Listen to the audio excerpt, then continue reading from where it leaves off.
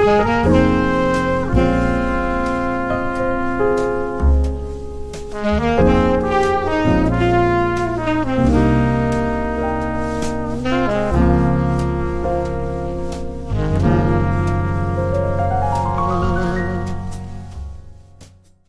this video, we're going to work with color images using the STF tool.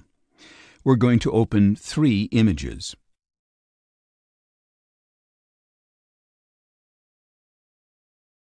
Let's change the layout of the three windows.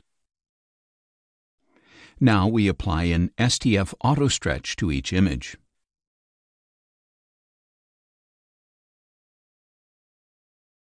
As you can see, each image has a very strong dominant color, so much so that the way the images are displayed on the screen is completely incorrect. Why has this happened? Let's zoom in on the STF midtones and shadows adjustments for each image.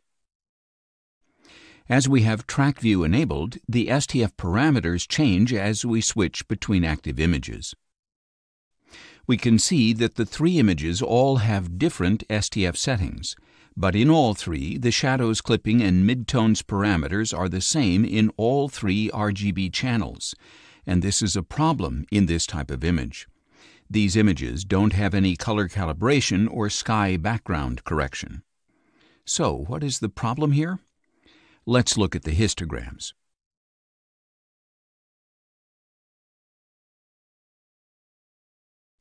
When we look at the histograms, we can see that the peaks of the curves representing the sky background level aren't aligned. This image looks orange because the peak of the red channel is brighter, followed by the green. This one is completely green because the sky background in the green channel is much brighter than the other two and this one is yellow because the peaks in the green and red channels are aligned, but the sky background in the blue channel is much darker. So what's the problem with the STF here? It's that we're doing the same histogram adjustment for all three color channels.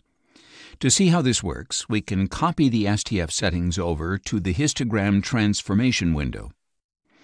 To do this, we click and drag the New Instance button and drop it on the bottom bar of the histogram transformation window.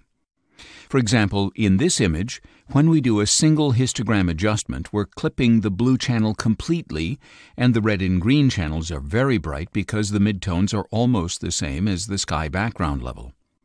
We can see this by looking at each RGB channel separately. The red and the green are very bright, and the blue is completely clipped.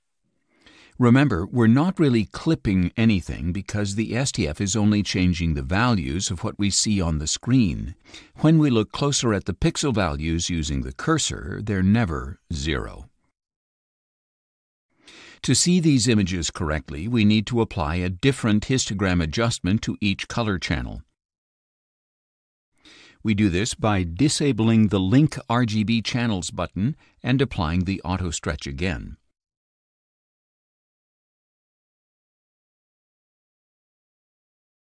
Now the three images look neutral because the STF calculates individual statistics for each of the RGB channels.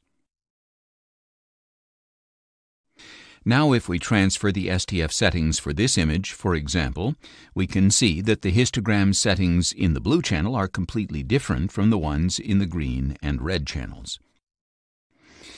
Each color channel has its own individualized contrast adjustment, that's why the result is as neutral a color image as possible. Whenever we have an image whose sky background hasn't been neutralized, we need to unlink the RGB channels. Here are two reasons why we need to do this. The first is that we need to be able to see where the sky background is so that we can adjust it. In this image, it could be this area here, for example. The second reason is that if the image has gradients, we need to be able to see these properly too. Here we can clearly see a slight magenta tone on the right and a greenish tone on the left. Once we've unlinked the channels, we can neutralize the sky background and apply gradient corrections. Let's carry on calibrating the color of this image. We'll go to the Color Calibration category and select the Background Neutralization tool. We select this area of the sky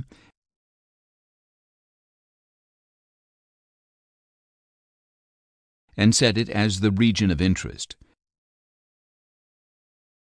Then we apply the process to the main view. Now the image is completely blue. This is because the tool has aligned the peaks of the sky background.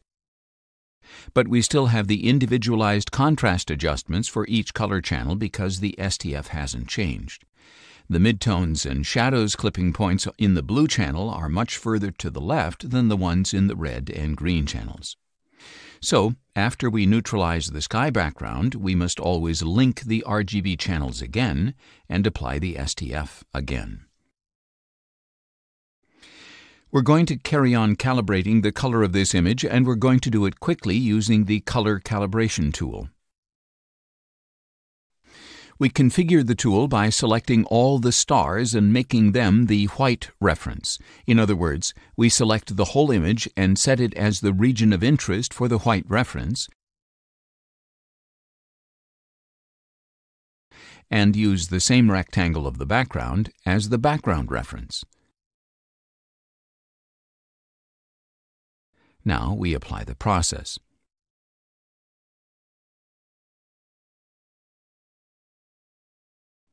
We've calibrated the color, but again the image doesn't look right as almost everything is black.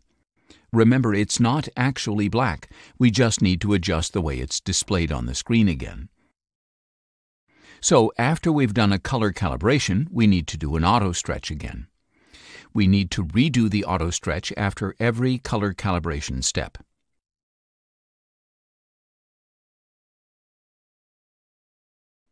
We'll come across a common problem if we save this image as a JPEG. We go to File, then Save As, and save the image in JPEG format. We've made a mistake here, and we'll see it when we open the image again. If we go to File Explorer and open the JPEG we've just saved, the image is black. This is because the image we've just saved is actually a linear image. We need to remember that it has an active STF, and we know this because of this green line. These data can't be read from a JPEG file because the bit depth is only 8 bits. If we do a contrast adjustment now, we won't be able to recover any of the data from this image. It's completely posterized. So before we save as a JPEG, we need to stretch the image. We can do the stretch using histogram transformation.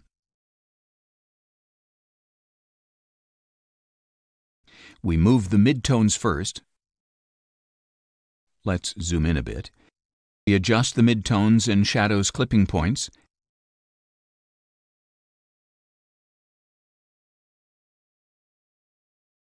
and we apply the transformation. And here we have another very common problem. When we stretch the image, it turns completely white.